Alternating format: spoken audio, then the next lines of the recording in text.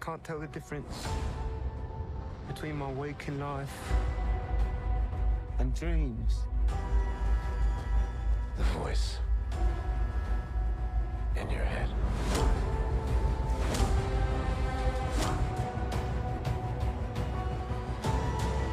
It devours you.